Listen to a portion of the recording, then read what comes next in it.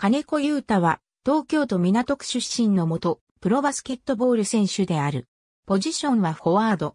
身長189センチメートル、体重82キログラム。2010年3月、八王子学園八王子高等学校卒業後、2010年4月、拓殖大学に進学する。2014年3月拓殖大学卒業後、2014年6月、参入山形ワイバンズに入団する。背番号は80。2014年9月 U-243X、3日本代表に選出され、ユニバーシアードブラジル世界大会に出場する。2015年1月、NBL オールスターゲーム 2014-3X3、NBDL 選抜チームに選出される。同年4月には 3X3 日本代表候補特別強化指定選手に選出される。チームに在籍しながらバスケットボールの5人制と3人制で活躍するオールラウンダーである。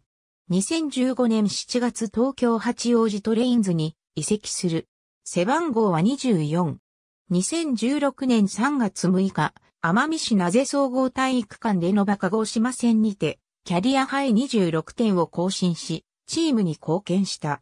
2016年7月所属する東京八王子トレインインセーズは B リーグ B3 に加入する。2017年7月 B リーグ B3 東京サンデーブスに移籍する。背番号は8。2018年9月、東京八王子ビートレインズ育成チームディレクター、監督に就任する。2020年9月若者の未来応援基金3人制バスケットボールチーム、渋谷フューチャーズの球団代表に就任する。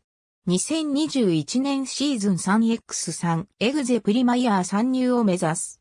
2021年1月代表を務める3人制バスケットボールチーム、渋谷フューチャーズは 3X3 EXE PREMIER JAPAN 2021に参入決定する。ありがとうございます。